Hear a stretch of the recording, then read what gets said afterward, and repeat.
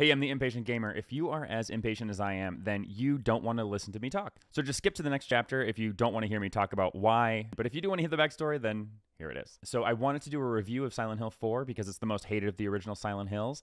It's also the only one that you can buy legally off of a website. So I bought it on goodoldgames.com and it is very playable. It gives you 4K resolutions, even though they're stretched.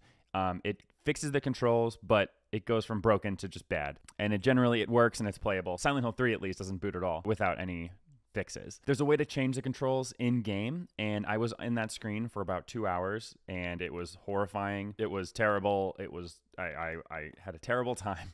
Um, it was very hard to use. It, it kept messing up. It wouldn't let me do the same control for two things that were in different screens. All this kind of bullshit. So I did not realize until I searched Silent Hill 4 controls that there actually is a config tool on Good Old Games version. Um, and so that's what we'll be using here in this tutorial. Uh, the, the configuration tool is much easier.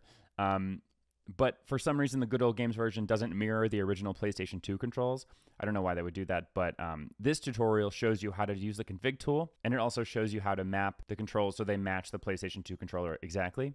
Um, I've also labeled the PlayStation 2 controller so you can see like the numbers of each button because in Silent Hill it says it's like button 11, button 10, button 9, but what the hell does do those mean?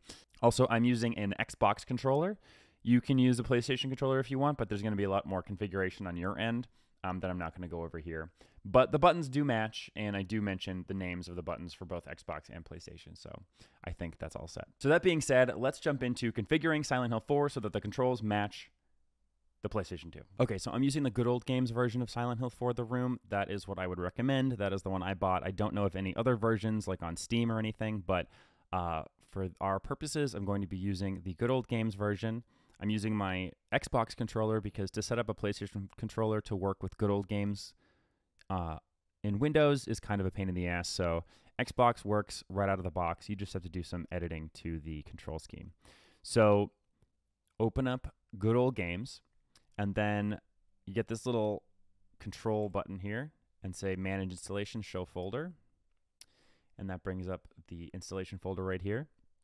Now you want to make sure your controller is on before you open up sh4 config. This is what we're opening, sh4 config. So my controller is on, so I'm opening up sh4 config. So I'm going to start by clicking into default, ruining all my work. and uh, yeah, so let's go in. Let's go into it. So uh, all of this is correct except for move left and move right. So I'm going to double click here and push L1 or right but or left button. And then I'm going to click here and push R1 or right button. So now this is all correct. So it works like the original PlayStation. These are two things that you're never going to use, but uh, they help you navigate menus. So then we're going to go over here to button two. I'm going to go over to button two. This one's slightly more difficult. Um, so it has our enter button as button two, which is this one. We don't want that. We want it to be X as we're all used to. So I'm just going to click where it says enter and push button zero or X or cross or on an Xbox controller, A. so many buttons. I'm going to do the same thing for action investigate. I'm going to push cross. There we go. And cross is this button right here.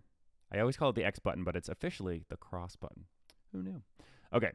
Cancel Right now it's on button one, which is circle, which is good. That's what we want. But I'm gonna just going to do it anyway. Circle, circle. Yeah, if the button is the same and you push it, it's going to go to like, like that, and then you have to push it again, and then it comes up with the same button again. Okay, skip demo. Right now is select, but I'm going to say start. I'm going to use the start button. Pause, also going to use the start button. Okay, ready weapon. I'm going to push 7, which is R2 also known as right trigger. For evade, I'm going to use the same as the cancel run button. So that's going to be circle or button one or B on an Xbox controller. And then rear camera, I'm going to push six, button six, which is L2 or left trigger. And then for run, I'm going to do the same thing, circle. Okay. And then I'm going to go to button three here. And for the scrapbook, I'm going to use button 10, which is the left trigger. Um, I'm sorry, which is the left analog stick, pushing in on the left analog stick. For the map, I'm going to use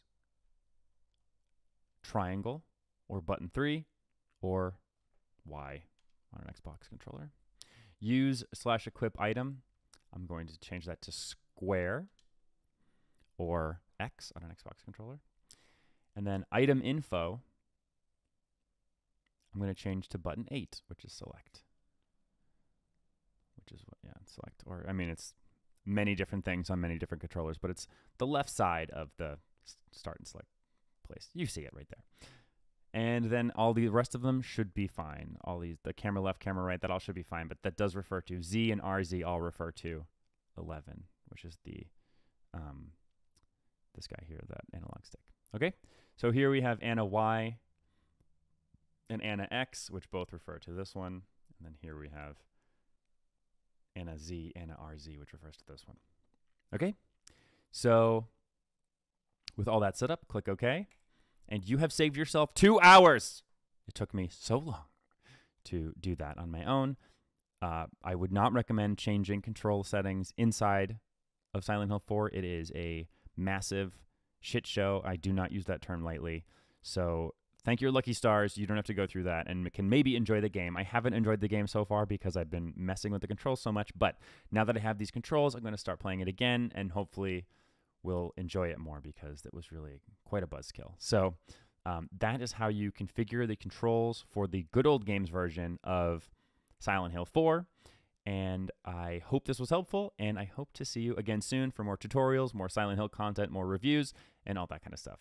Thanks for watching The Impatient Gamer, and I hope to see you again soon.